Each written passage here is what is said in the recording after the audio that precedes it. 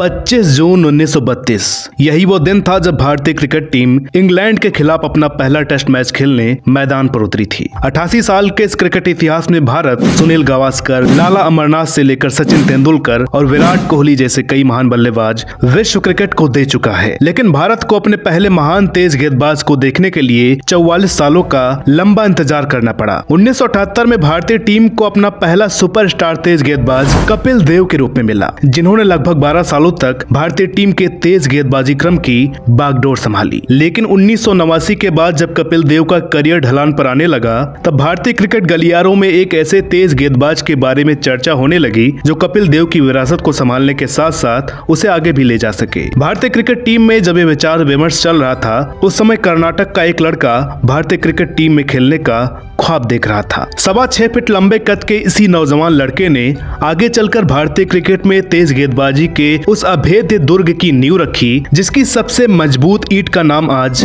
जसप्रीत बुमराह है और जिसने खुद को कपिल देव की विरासत का पहला वारिस साबित किया। हम बात कर रहे हैं महान भारतीय तेज गेंदबाज मैसूर एक्सप्रेस जवागल श्रीनाथ की। नमस्कार दोस्तों, मैं हूँ अनुराग सूर्यवंशी और आप देख रहे हैं नारद टीवी की खास पेशकश the unsung heroes of Indian cricket. Javagal का जन्म 31 अगस्त उन्नीस सौ उनहत्तर को कर्नाटक के मैसूर ज़िले में हुआ था। इनके पिता का नाम जेकी चंद्रशेखर था। श्रीनाथ ने अपनी शुरुआती पढ़ाई मैसूर के मारी मल्लप्पा हाई स्कूल से पूरी की। श्रीनाथ ने मैसूर से ही श्री जया चामा राजेंद्र इंजीनियरिंग कॉलेज से बैचलर ऑफ़ इंजीनियरिंग की डिग्री भी हासिल की थी। कॉलेज के दिनों में इनका सबसे बड़ा सपना एक इंजीनियर के तौर पर अमेरिका जाने का था, लेकिन इनके भाग्य को कुछ और ही मंजूर था। नियति शायद इस इंजीनियर के हाथों में क्रिकेट की गेंद देखना चाहती थी। इसलिए इंजीनियरिंग का सपना देखने वाले श्रीनाथ के मन में क्रिकेट के लिए जुनून भी बचपन से ही था और अपने इसी जुनून को ज़िंदा रखने के लिए श्रीनाथ कई क्लब मैचों में हिस्सा लिया करते थे। ऐसे ही एक क्लब मैच के दौरान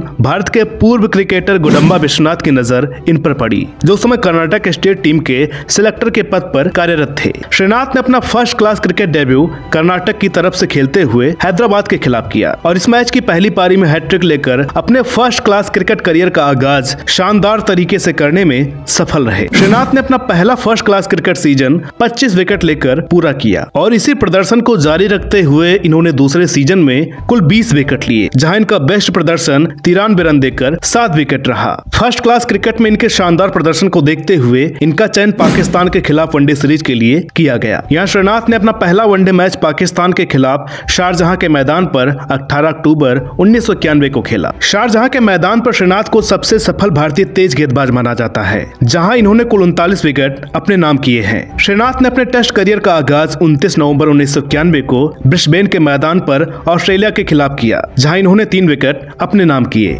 श्रीनाथ ने अपने पहले टेस्ट दौरे में ही कुल दस विकेट चटकाए। दरअसल श्रीनाथ को अपने करियर के शुरुआती तीन सालों तक किसी भी घरेलू दौरे के लिए टीम में शामिल नहीं किया गया, जिसका सबसे बड़ा कारण था कि उस समय घरेलू पिचों को देखते हुए टीम में एक ही तेज गेंदबाज को शामिल किया जाता था, और कपिल देव के होते हुए वो किसी भी अन्य गेंदबाज के लिए मात्र एक सपने की तरह ही था। उन्नीस सौ चौरानबे में जब कपिल देव ने अंतर्राष्ट्रीय क्रिकेट से संन्यास लिया, उसके बाद श्रीनाथ को पहली बार वेस्टइंडीज के खिलाफ पहला घरेलू टेस्ट मैच खेलने का मौका मिला। इस मैच में इन्होंने पाँच विकेट अपने नाम किए और मैच की दूसरी पारी में साठ रन भी बनाए। और इस तरह मैन ऑफ़ द मैच का अवार्ड अपने नाम किया। जवागल श्रीनाथ भारत के सबसे सफल गेंदबाज होने के साथ साथ सबसे तेज गेंदबाज भी रहे हैं। सत्ताईस जनवरी उन्नीस को जिम्बाब्वे के खिलाफ खेलते हुए इनकी एक गेंद को स्पीडोमीटर पर एक सौ सत्तावन किलोमीटर प्रति घंटे रिकॉर्ड किया गया था। वसीम अकरम और अलान डोनाल्ड जैसे गेंदबाजों के सामने टेस्ट मैच खेल चुके एलिएस्टर कैंपेबल और ग्रांड फ्लोवर जैसे बल्लेबाजों ने भी जवागर श्रीनाथ को सबसे तेज गेंदबाज माना है। श्रीनाथ ने साल उन्नीस सौ बानबे में 18 वनडे मैच खेले थे, जिनमें इन्होंने 19 की बेहतरीन औसत के साथ कुल चौतीस विकेट अपने नाम किए।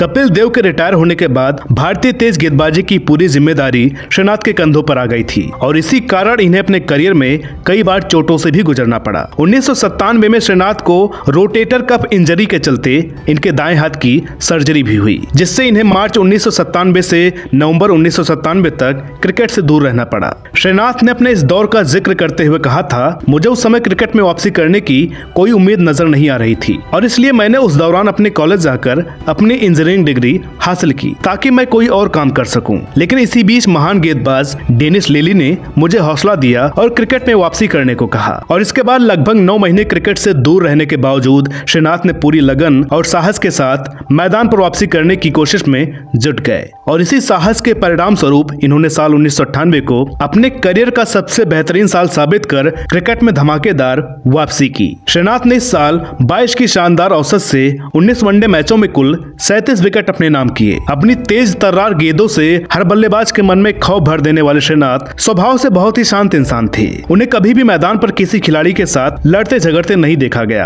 डेनिस लिली और अलान डोनाल्ड जैसे महान गेंदबाज श्रीनाथ को एक आदर्श तेज गेंदबाज मानते थे। श्रीनाथ अपने करियर में किसी भी भारतीय तेज गेंदबाज से अधिक चार वर्ल्ड कप का हिस्सा रहे हैं, जिनमें इनकी विकेटों का आंकड़ा जहीर खान के बराबर यानी चौवालीस विकेट है। श्रीनाथ एक अच्छे गेंदबाज होने के साथ साथ एक पिच हिटर बल्लेबाज भी रहे हैं। उन्नीस सौ छियानवे में हुए टाइटन कप के फाइनल में इन्होंने अनिल कुंबले के साथ मिलकर नौवे विकेट के लिए 50 रनों की अहम साझेदारी कर भारतीय टीम को चैंपियन बनाने में मदद की थी। श्रीनाथ को कई बार अजहरुद्दीन की कप्तानी में द्रविड़ और अजय जडेजा के साथ ऊपरी क्रम में बल्लेबाजी करने का भी मौका मिला। श्रीनाथ दक्षिण अफ्रीका के खिलाफ अपने टेस्ट करियर में सबसे अधिक सफल रहे हैं। श्रीनाथ ने अफ्रीका के खिलाफ चौबीस दशमलव चार आठ की औसत से कुल साठ विकेट अपने नाम किए हैं। दक्षिण अफ्रीका के खिलाफ खेलते हुए श्रीनाथ ने एक टेस्ट मैच में 21 रन देकर छह विकेट अपने नाम किए थे। इस स्पेल को टेस्ट क्रिकेट के कुछ बेहतरीन गेंदबाजी प्रदर्शनों में गिना जाता है। कहा जाता है कि गेंदबाज के लिए मैदान में विकेट से महत्वपूर्ण कुछ नहीं होता है। लेकिन श्रीनाथ ने एक बार अपने खाते में आ रही एक विकेट को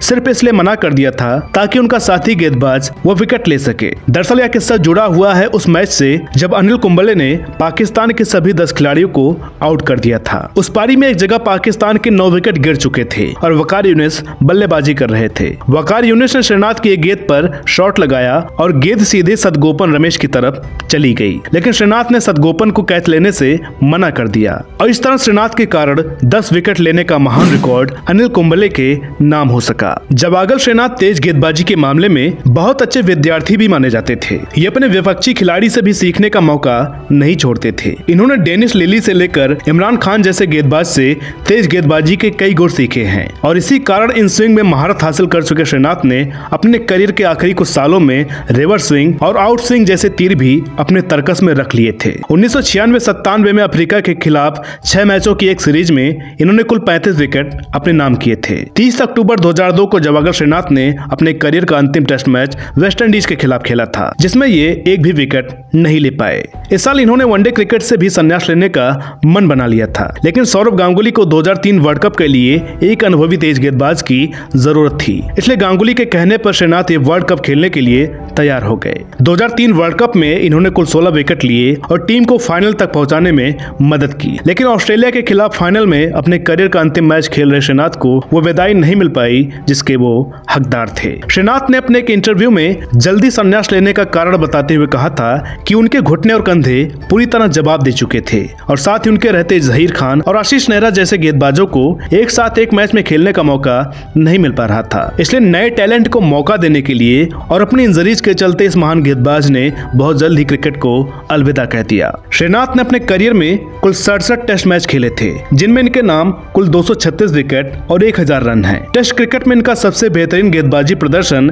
132 रन देकर 13 विकेट रहा, जो इन्होंने पाकिस्तान के खिलाफ हासिल किया था टेस्ट क्रिकेट में श्रीनाथ कपिल देव के बाद 200 विकेट लेने वाले दूसरे भारतीय गेंदबाज हैं। बात करें इनके वनडे करियर की तो इन्होंने कुल दो सौ उनतीस मैच खेले हैं, जिनमें इनके नाम कुल 315 विकेट हैं। वनडे क्रिकेट में इनका सबसे बेहतरीन प्रदर्शन तेईस रन देकर पाँच विकेट है। जवागर श्रीनाथ वनडे क्रिकेट में सबसे ज़्यादा विकेट लेने वाले भारतीय तेज गेंदबाज हैं। साथ ही श्रीनाथ के नाम क्रिकेट वर्ल्ड कप में स्टीव वॉक के बाद सबसे ज़्यादा बार नॉट आउट लौटने का रिकॉर्ड भी दर्ज है। इसके अलावा श्रीनाथ ने अपने फ़र्स्ट क्लास क्रिकेट करियर में 500 से अधिक विकेट लिए हैं। श्रीनाथ रिटायरमेंट के बाद आईसीसी के मैच रेफरी के तौर पर क्रिकेट से जुड़े हुए हैं। इसके अलावा इन्होंने कर्नाटका स्टेट क्रिकेट एसोसिएशन के सेक्रेटरी पद पर रहते हुए नए क्रिकेटरों को आगे बढ़ाने का काम भी बखूबी निभाया भारतीय क्रिकेट में इनके बेहतरीन योगदान को देखते हुए इन्हें भारत सरकार द्वारा उन्नीस सौ निन्यानवे में अर्जुन पुरस्कार से भी सम्मानित किया गया। अब बात करें इनकी निजी ज़िंदगी की तो इन्होंने पहली शादी उन्नीस सौ निन्यानवे में जियो सेना से की थी, लेकिन कुछ साल बाद इनका तलाक हो गया, जिसके बाद श्रीनाथ ने दूसरी शादी साल 2008 में पत्रकार माधवी पत्रावली से की। नारद टीबिन के उज्जवल भविष्य और उत्तम स्वास्थ्य की कामना करता है। तो दोस्तों, उम्मीद करते हैं कि आज का एपिसोड आपको पसंद आया होगा। वीडियो अगर अच्छी लगी हो तो प्लीज़ इसे लाइक करें, शेयर करें। चैनल पर नए हो तो प्लीज़ इसे सब्सक्राइब ज़रूर करें। साथ ही साथ हमें फॉलो करें फेसबुक, ट्विटर और इंस्टाग्राम पर। तो दोस्तों, मिलते हैं अगले वीडियो में एक और नई कहानी के साथ। तब तक के लिए नमस्कार।